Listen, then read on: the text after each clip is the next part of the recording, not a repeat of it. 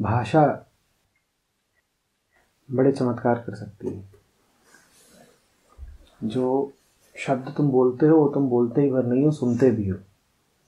अपना ही कहा तुम सुनते भी हो। जैसे जानवर होते हैं ना जुगाली करते हैं। जुगाली का क्या मतलब होता है? जुगाली में जानते हो ना क्या होता है? क्या होता है? हाँ। गाय भैंसों का जानते हैं क्या होता है? पहले अंदर जाता है। फिर जो अंदर का होता है वही बाहर आता है। पुनः अंदर जाता है। हमारा भी वैसा ही है।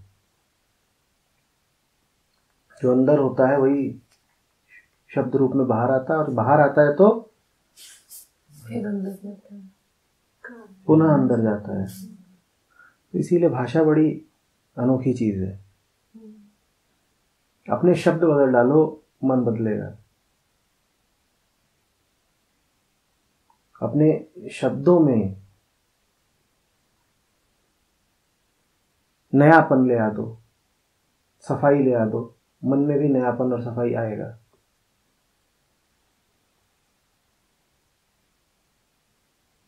जिसकी भाषा बदलने लग जाती है, एक यकीन जानिए उसका मन बदलने लग जाता है।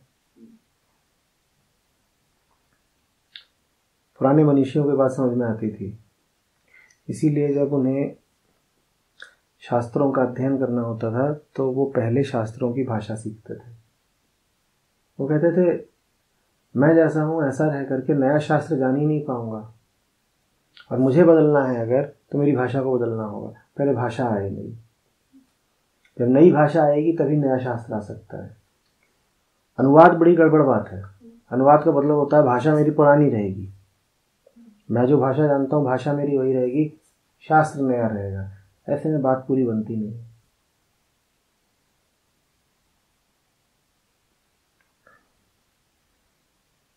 तुम उसका विपरीत भी करके देख सकते हो। तुम अपनी भाषा को और मलिन कर दो। तुम देखो तुम्हारा धीरे धीरे जीवन भी और मलिन होता चला जाएगा। इसीलिए अनर्गल अनाप शनाप बकने से बचना चाहिए। इसीलिए दुर्वचनों का प्रयोग करते समय सतर्क रहना चाहिए। गाली गलौज से इसीलिए सावधान रहना चाहिए। क्योंकि जो तुम गाली दूसरे को दे रहे हो वो गाली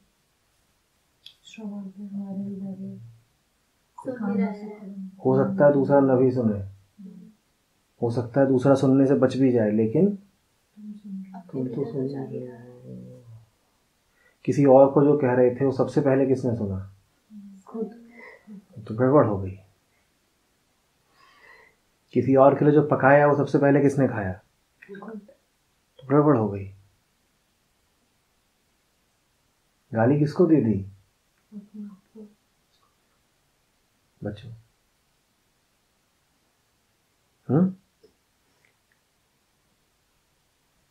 जब आप ब्रह्म की स्थिति में परमात्मा को समर्पित करके कुछ बातें बोलते हो। परमात्मा नहीं आता सुनने के लिए। परमात्मा कोई मतलब ही नहीं है कि आप कौन सी आरती गा रहे हो। कौन आता है सुनने? तुम खुद सुनते हो। वहाँ महत्व है इसका। परमात्मा नहीं प्रसन्न हो जाएगा। तुम्हारा अपना उद्धार होगा। जो खड़े होकर के पाठ जाप मंत्र शब्द भजन कीर्तन इत्यादि होता है।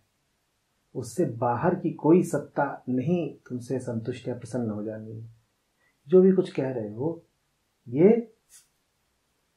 स्वयं को सुना रहे हो। तुम सुन लेते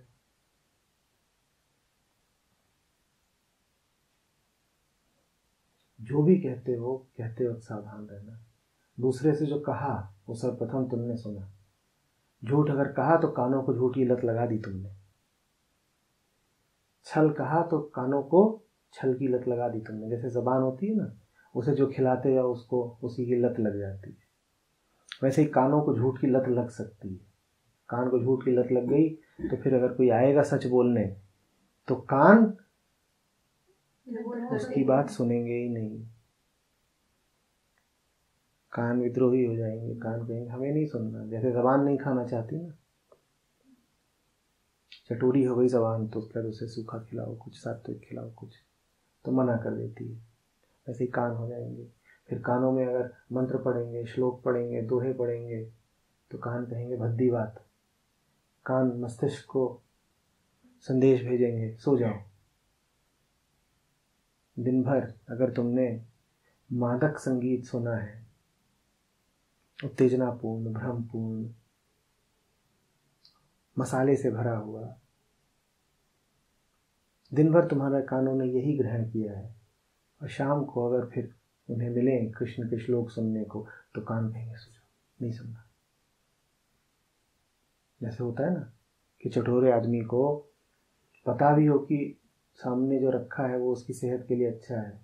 तो कहेगा, भाई, बीमार रहना पसंद है, ये नहीं खा पाएँगे। दलिया नहीं खाऊँगा, खिचड़ी नहीं खाऊँगा, नीम का रस नहीं पीऊँगा। क्योंकि दिन भर जो उसने सेवन करा है, उस सेवन ने उसे वही बना डाला है। अब जो बन गया है उसका और दलिया, खिचड़ी और नीम का कोई मेल नहीं हो रहा।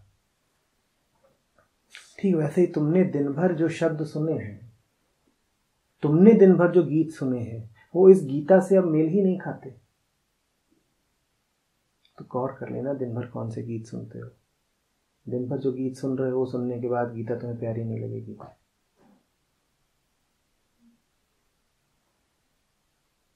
हम्म? दिन भर जो वचन सुने जा रहे हो, पिए जा रहे हो उन वचनों के बाद कृष्ण के वचन तुम्हें सुहाएँगे नहीं।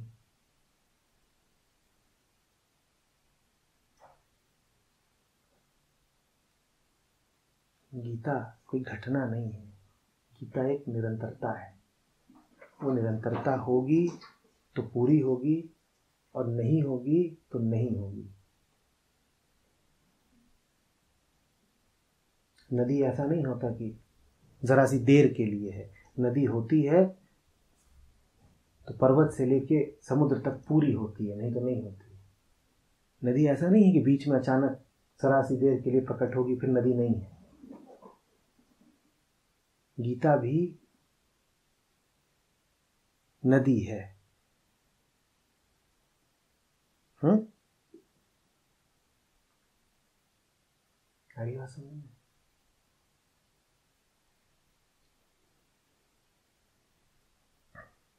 इस जगह को घाट जानना यहाँ हम उतर भर रहे हैं नदी में। घाट में नदी पैदा नहीं होती। घाट में नदी में उतरा जाता है। हम उतर रहे हैं नदी में। पर उतरोगे तो तब जो पहले हो, होगी तो पूरी होगी, नहीं तो नहीं होगी। तो ये मत समझना कि यहाँ आते हो तो यहाँ गीता पाठ हो जाना है। यहाँ का पाठ बस घाट है।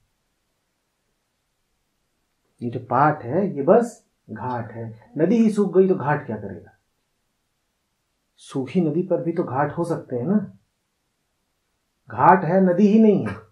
कहाँ उतरोगे? हम्म?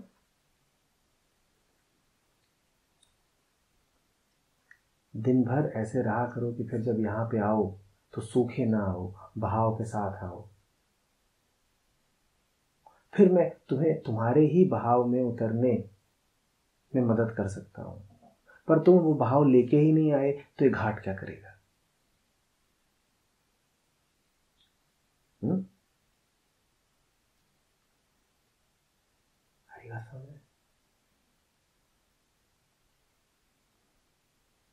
साधारण व्यक्ति और गुरु में जरा सा यही अंतर होता है। आम आदमी घट होता है खड़ा गुरु घाट होता है। घट मतलब जिसमें कुछ है और सीमा है। घाट मतलब जो एक अनंतता में प्रविष्ट कराने का साधन बन जाए। एक अनंत भाव है, उसमें जो उतार दे वो गुरु।